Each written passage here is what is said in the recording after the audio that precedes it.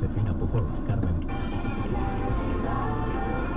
Positive, encouraging K-Love. 95.5 WLVO, Providence. 107.3 Boston. And reaching around the world at klove.com.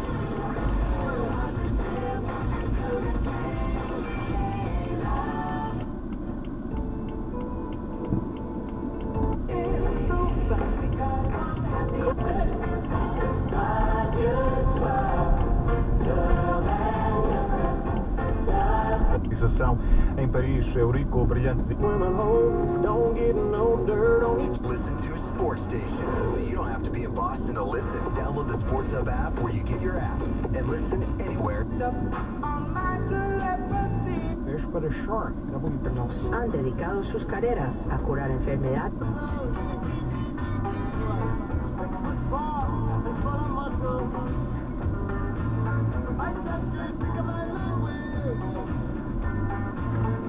You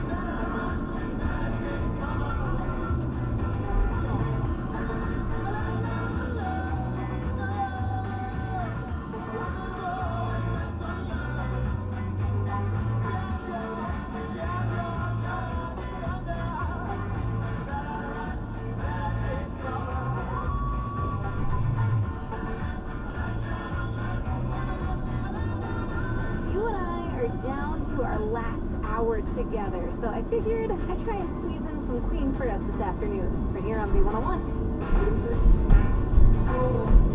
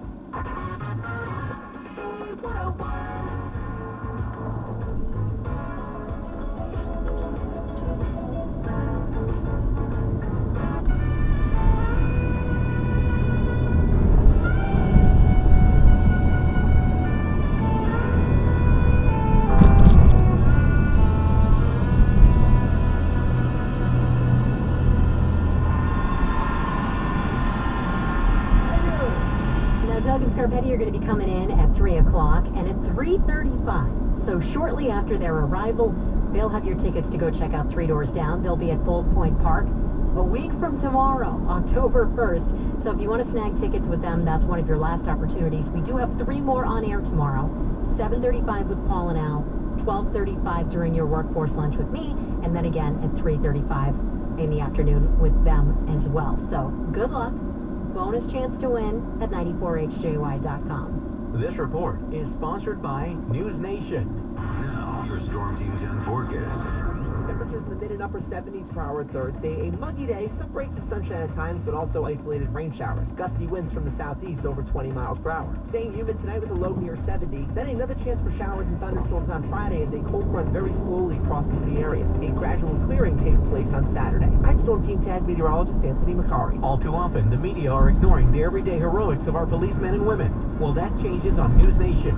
Dan Abrams and his live PD sidekick Sticks are returning to primetime on Dan Abrams Live, premiering Monday, September 27th at 8, 7 Central on News Nation. We're on the show, but I want to hit it for everybody out there who has been hearing all about how much kids are in danger and it's not safe to go to school and they got to wear masks.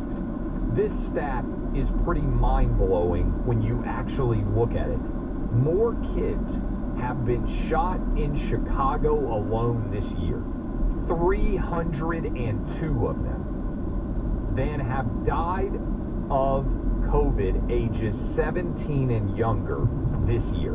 302 kids in Chicago alone shot. 214 kids nationwide in a country of 330 million have died with COVID. Most of those kids, unfortunately, had major health conditions, Buck, such that COVID was not the direct cause of their death, but was a contributing factor along with many other comorbidities. So, think about this for a minute. If you are out there, if you got a friend, and I know a lot of you do, kids are they're terrified to have their kids in school, they're terrified to have them walking around without masks. In Chicago alone, you were nearly 50% more likely to be shot if you were a kid, just in Chicago, than you were to die with COVID. This is a